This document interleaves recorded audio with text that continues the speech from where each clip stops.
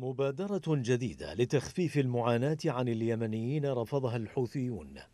المبادرة قدمتها الحكومة الشرعية وتقترح السماح باستئناف إدخال سفن الوقود إلى ميناء الحديدة الخاضع لسيطرة ميليشيا الحوثي على أن تدفع إيرادات السفن كافة في حساب خاص جديد تشرف عليه الأمم المتحدة ولا يخضع لسيطرة الحوثيين من أجل أن يستفيد منه الشعب اليمني بصورة عامة. إلا أن زعماء الميليشيا ومن ورائهم نظام إيران كان لهم رأي آخر.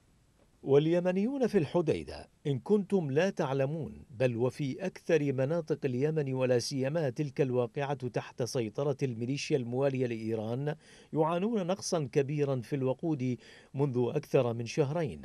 وأن أكثر الموظفين الحكوميين في تلك المناطق لم يتسلموا رواتبهم منذ أكثر من ثلاث سنوات. يحدث هذا بينما يتهم الحوثيون كلا من التحالف العربي والحكومة اليمنية الشرعية باحتجاز عشرين سفينة نفط قبالة سواحل الحديدة. في حين يتهم التحالف العربي والحكومة الشرعية الميليشيا باستغلال الوقود وعوائده في تمويل أعمالها العسكرية. وتنفيذ هجمات على السعودية وترك المدنيين يطحنون بين شقي رحى الحرب وتصاعد نسبة الفقر في البلاد. وبين الفقر والحرب يتطلع اليمنيون إلى دور أكثر فاعلية للمجتمع الدولي.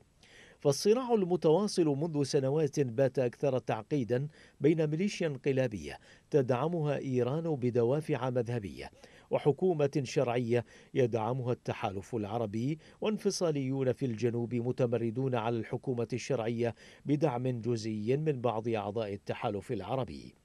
بينما تبدو الأمم المتحدة عاجزة عن إيجاد حل للصراع أو حتى تقديم الدعم الإنساني للشعب اليمني الذي أنهكته الحرب وتفشي الفقر والأوبئة.